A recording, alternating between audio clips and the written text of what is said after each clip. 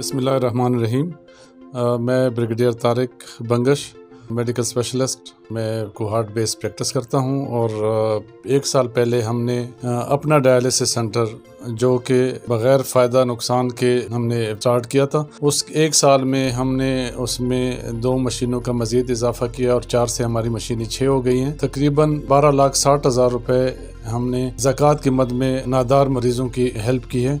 हमारे तकरीबन अस्सी फ़ीसद मरीज़ जो है वो ज़क़़त क्लेम करते हैं। लेकिन ज़क़़त की अवेलेबिलिटी पे है कि जितना हमारे पास पैसे होंगे तो हम उस तरह आगे मरीज़ों को और इसके लिए हम डोनर हजरात हमारे दोस्तों के और खैर हजरात के मशहूर हैं, जिन्होंने ये मदद की और आइंदा भी उम्मीद करते हैं कि ये हमारे साथ दस्ते तावन जारी रखेंगे।